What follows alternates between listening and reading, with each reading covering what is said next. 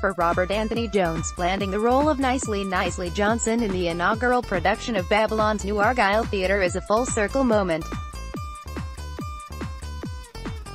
Jones played the high-spirited small-time gambler in the 1950 hit musical, Guys and Dolls, in his senior year production at Islip High School, a few towns away. Now I've come back to play the role professionally, says Jones, 45, who recently performed opposite Kelsey Grammer and Matthew Morrison in Finding Neverland on Broadway. The actor also recalls his community theater debut in the Suffolk County Village. It's such a beautiful homecoming to be in the same town where I started all those years ago, making it possible for Jones and other actors, as well as directors and stage crew, to perform and work locally are father and son visionaries Mark and Dylan Perlman, Seaford residents who purchased the historic movie house in 2017. Having opened its doors this month after a $3 million renovation, the 500-seat Argyle Theatre is fully outfitted, boasting an orchestra pit, balcony, dressing rooms and state-of-the-art lighting and sound systems.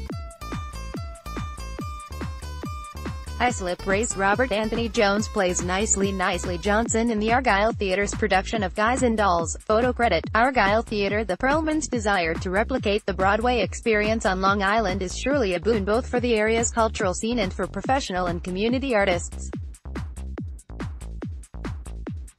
We had open calls in Manhattan and Babylon for Guys and Dolls, with over 70 people auditioning locally and about 600 in the city for a cast of 18.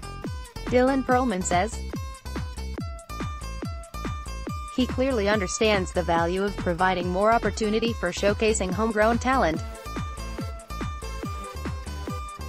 A professional actor since the age of 12, Perlman appeared in the national tour of On Golden Pond television series such as The Good Wife and Unforgettable, and commercial and radio spots. Study economics at Hofstra University ignited Dylan's desire to also become involved on the business end of the theater world, he says.